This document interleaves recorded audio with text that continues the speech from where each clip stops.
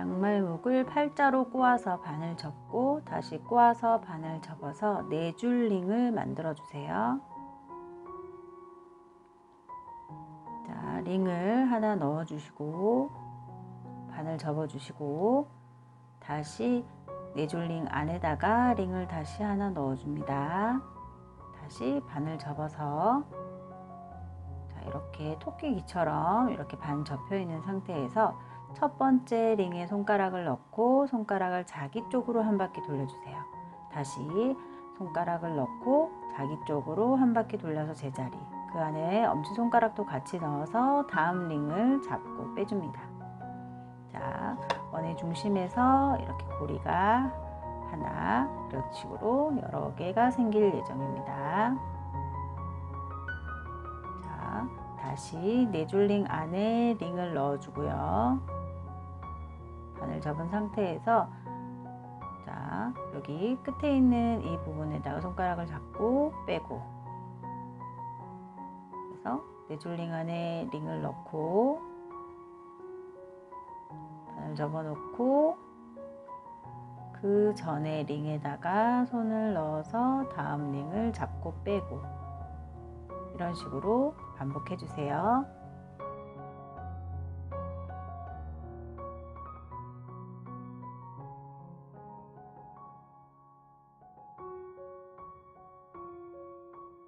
자, 이렇게 기둥이 하나, 둘, 셋, 넷, 다섯 개, 총 일곱 개가 될 때까지 반복해 주시면 되겠습니다. 네 줄 링 안에다가 링을 하나씩 넣어주면서 잡고 빼고, 다시 넣고 잡고 빼고,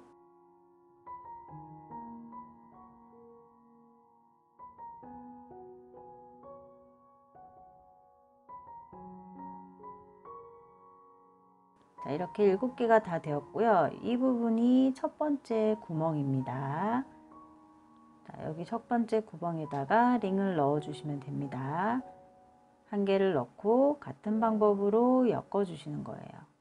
자, 두 번째 단부터는 코를 늘려 줄 거기 때문에 제자리에다가 한 개를 더 넣었습니다.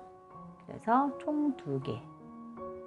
자, 두 번째 단은 한 구멍에 두 개씩 넣어서 엮어 주시면 되겠습니다.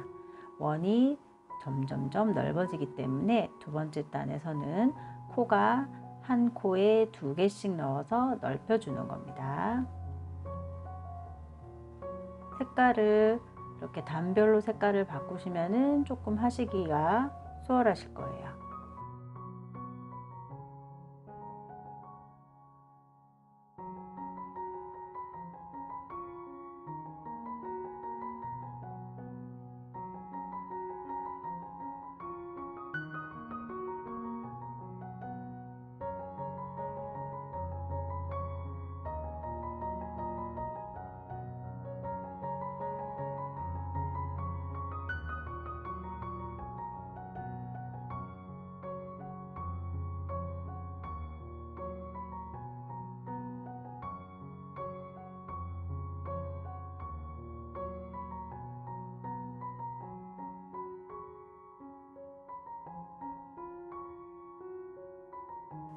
세 번째 단에는 한 코에 하나, 그 다음 구멍에다가는 두 개, 그 다음 코에는 다시 하나, 그 다음 구멍에는 다시 두 개. 이런 식으로 한 개, 두 개, 한 개, 두 개. 이런 식으로 코를 늘려주시면 되겠습니다.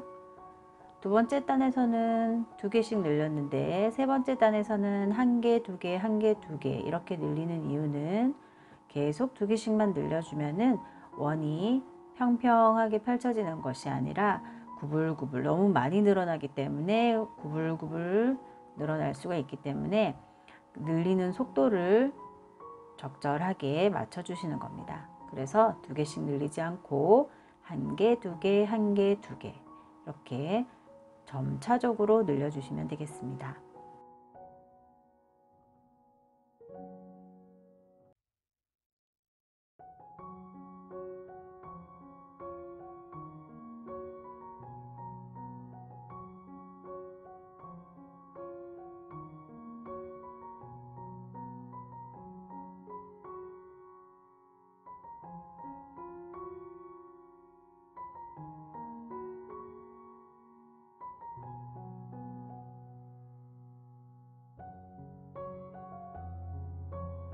네 번째 단에서는 한 구멍에 한 개씩만 넣어주시면 되겠습니다.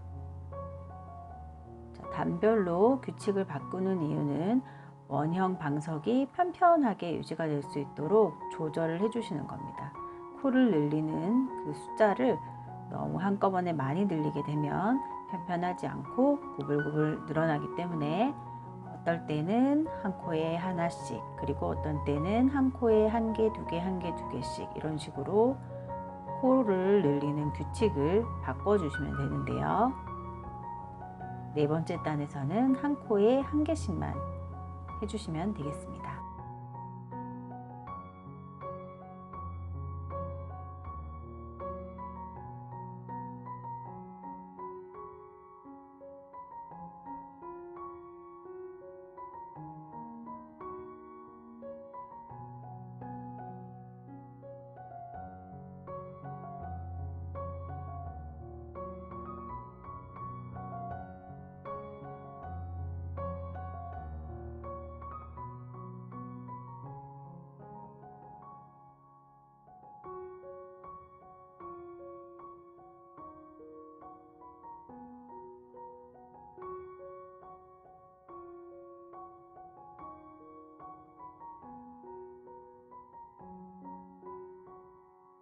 자, 다섯 번째 단에서는 한 코에 한 개, 그 다음 코는 두 개, 그 다음 코는 한 개, 그 다음 코는 두 개. 이런 식으로 한 개, 두 개, 한 개, 두 개. 이런 식으로 넓혀주시면 되겠습니다. 양말목의 상태에 따라서 어떤 양말목은 얇고 가늘고 할 수가 있기 때문에 그리고 어떤 거는 또 너무 두껍고 그 다음에 고리가 크기가 작을 수도 있고요. 그래서 양말목의 컨디션에 따라서 자기가 보고 일단 이렇게 펼쳐 보았을 때 조금 많이 구불구불하다 싶으면은 한 개씩만 넣어서 좀 단단하게 쪼아 주시면 되겠습니다. 여섯 번째 단입니다. 한 칸에 한 개씩만 넣었습니다. 그래서 보통 두 번째 단에서 두 개씩 하고요. 그 다음부터는 한 개, 두 개, 한 개, 두 개. 그 다음에는 한 개씩. 그 다음에는 한 개, 두 개, 한 개, 두 개. 그 다음 단에는 한 개씩. 이런 식으로 해주시면은 편편한 원형 방석이 완성될 수 있습니다. 자, 일곱 번째 단입니다. 일곱 번째 단에서는 한 개, 두 개, 한 개, 두 개의 규칙성을 가지고 코를 늘려주시면 되겠습니다.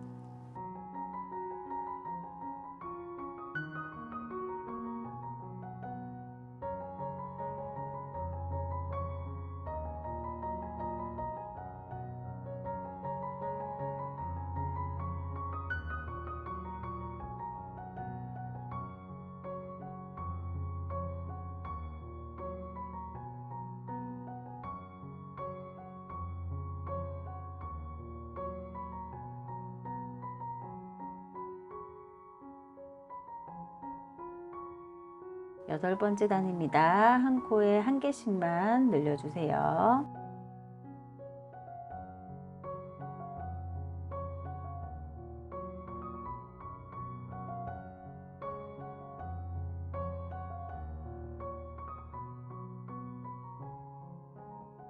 자, 색을 섞어서 할 때에는 시작 부분을 표시해 두면은 헷갈리지가 않습니다. 그래서 여기 시작했던 부분을 좀 튀는 색깔로 거기에다가 걸어 주시면 되겠습니다. 그래서 한 바퀴가 뺑 돌아서 다시 그 위치까지만 엮어주면 되겠구나 할 수 있기 때문에 시작 부분을 걸어서 표시해 놔주세요.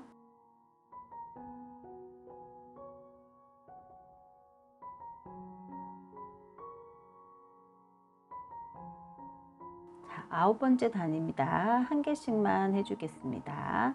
그래서 원래 자리에 하나 이렇게 넣어주시고 색깔을 뭐 맞추기 위해서 한 칸에 하나씩 하는데 이렇게 핑크, 초록, 핑크, 초록 이런 식으로 하셔도 되고요. 그건 이제 원하시는 대로 해주시면 됩니다. 그래서 한 칸에 하나씩 넣어 놓고 엮어주시면 되겠습니다.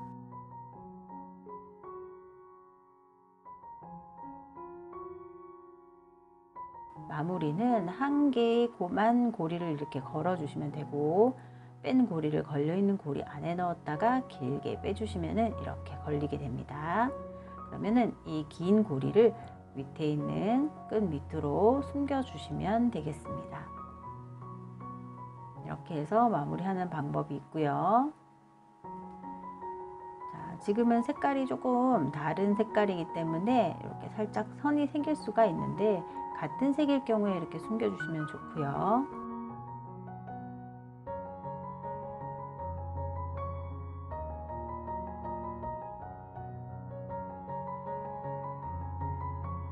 자, 숨기는 방법 이외에도 리본으로 묶어서 마감을 하기도 합니다. 다시 빼내서요. 자, 이렇게 쭉 당겨주시고 리본을 묶어주시면 되겠습니다.